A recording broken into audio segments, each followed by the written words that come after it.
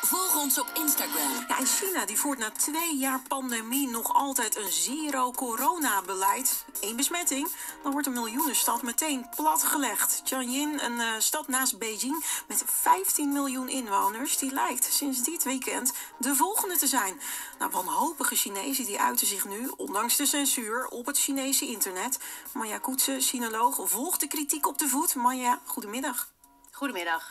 Ja, het eh, Chinese coronabeleid is de afgelopen twee jaar weinig veranderd als je het zo bekijkt. Waarom is er nu juist kritiek? Nou ja, er is vooral kritiek omdat uh, er een hele strenge lockdown is in de stad Xi'an in Centraal China. En uh, die lockdown zit inmiddels op dag 19. Uh, mensen mogen al sinds uh, 22 december hun huis niet uit. Sinds 27 december ook niet meer voor de gewone boodschappen en de medicatie. Mm. Uh, dus je hebt de afgelopen twee weken gezien dat de problemen zich opstapelen. Dat mensen serieus zonder voedsel kwamen te zitten, zonder medicatie. En de afgelopen week zagen we in de Chinese media en vooral op de sociale media echt schrijnende gevallen van mensen die niet de medische hulp kregen die ze nodig hadden. En uh, ja, met hele ernstige consequenties. Mensen die echt zijn te komen overlijden daardoor. Ja, want wat zijn dat de verhalen die je vooral ook leest op dat uh, Chinese Twitter-platform Weibo? Weibo, ja. Weibo, ja er zijn een, een, aantal verhalen die viral zijn gegaan. Eén heel groot verhaal is dat van een vrouw die acht maanden zwanger was en uh, enorme buikpijnen kreeg en niet doorkwam op de Chinese 112. Ja. Vervolgens is ze naar het ziekenhuis gegaan, maar ze kwam daar niet binnen omdat haar corona QR-code verlopen was. Vier uur daarvoor. Nee. Dus ze hebben haar twee uur lang uh, ja, buiten het ziekenhuis laten staan en uh, daar kreeg zij helaas een miskraam. En daarop kwam echt een golf van verontwaardiging van waarom vechten we nou eigenlijk zo tegen het virus? Want dat doen we toch om mensen te redden, ja. of niet? Ja. Uh, dus daar, ja, dat is eigenlijk het sentiment wat je ziet op de, op de online media. Het is meen je. Nou, nou uh, lees ik ook dat uh, bekende Chinese bloggers en journalisten allerlei kritische essays publiceren. Wat is precies hun boodschap dan? Ja, er zijn een aantal. Ik heb vier of vijf verschillende essays voorbij zien komen. Moet ja. ik wel zeggen dat ik vanmorgen en gisteravond heb gezien dat de meeste van die essays nu offline gehaald zijn. Door wie? Uh, dus ja, nou ja, dat kan door het so sociale media platform zelf, door de journalisten zelf of uh, vanuit de overheid dat het komt. Ieder, in ieder geval censuur. Ja, um, ja en die, die essays die waren kritisch, omdat ja, dat ging erover van voor wie doen we dit coronabeleid? Doe je het om punten te scoren of doe je het echt om mensenlevens te ja. redden? Um, en mensen die gewoon ja, de, de situatie in Xi'an aan de, aan de kaak stelden. En uh, het feit bijvoorbeeld dat een man van 39 die een hartaanval krijgt... gewoon bij twee ziekenhuizen niet toegelaten wordt... en vervolgens uh, komt te overlijden. Ja, dat zijn natuurlijk vreselijke verhalen. Ja, ik kan me er niks bij voorstellen, maar dat gebeurt dus daar wel echt. Gewoon, nu gaat trouwens een miljoenenstad uh, Tianjin uh, deels op slot... in aanloop naar de Spelen, de Olympische Winterspelen. Deze stad heeft bijna evenveel inwoners als Nederland. Hè? Wat zie jij daar gebeuren? Um, ja, nou ja, gisteren is men aan het hamsteren geslagen. En dat komt vooral omdat men dus heeft gezien wat er in de stad Xi'an is gebeurd. Dat mensen daar dus echt voedseltekort hadden. Uh, dus de straten waren helemaal vol met mensen gisteren die allemaal nog snel probeerden nog naar de supermarkt te gaan. Want de kans is groot mm -hmm. dat ze daar ook in een strikte lockdown gaan. Omdat daar nu ook Omicron is vastgesteld. Um, maar dan moet ik wel zeggen dat je in China enorm regionale verschillen ziet in de aanpak van het COVID-19-beleid. Het is niet helemaal uh, centraal, dat wordt eigenlijk regionaal aangepakt. Ah. En Xi'an is gewoon echt het slechtste jongetje van de klas. Maar daardoor zit de schrik er ook goed in bij andere steden waarbij mensen denken: oké, okay, ik moet zorgen dat ik wel medicatie in huis heb, genoeg te eten en dat dit ons niet overkomt. Mm. Hoe dan ook uh, kritiek op het beleid, hè? op het uh, beleid van de Chinese overheid, uh, ook regionaal.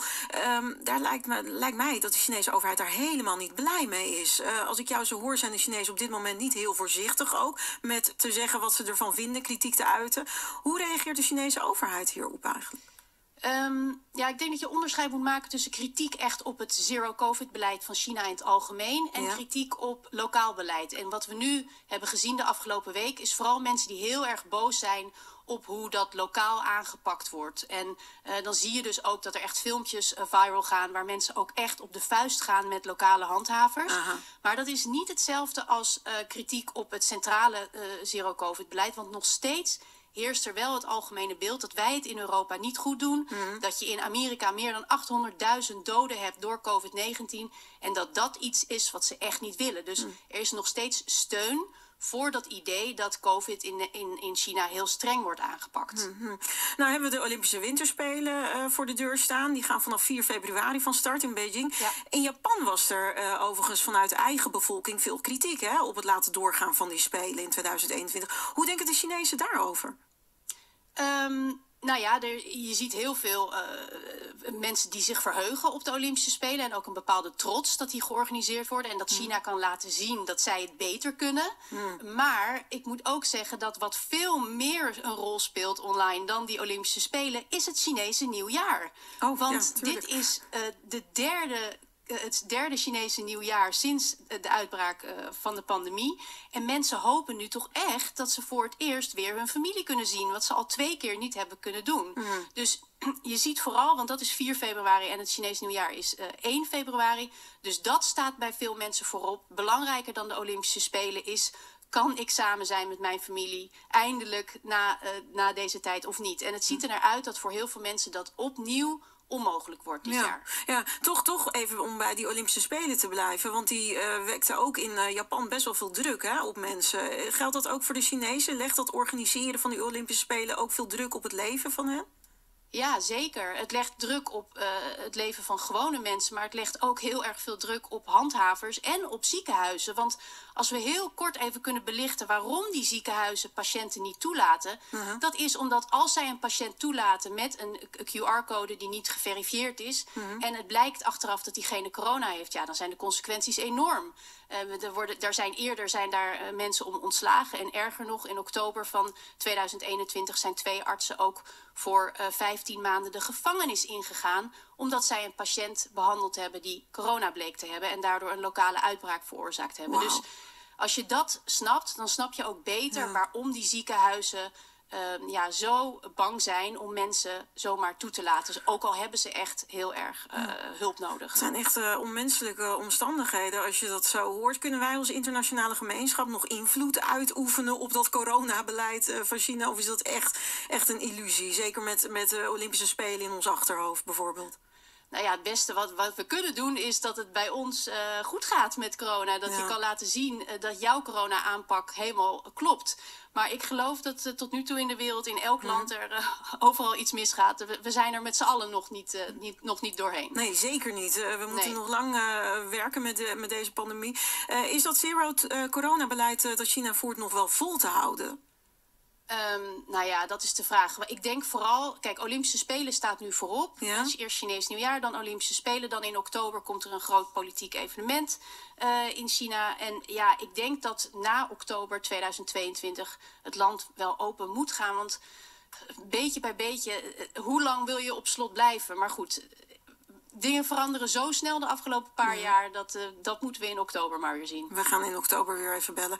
Dankjewel, sinoloog Manja Koetsen. NPO Radio 1.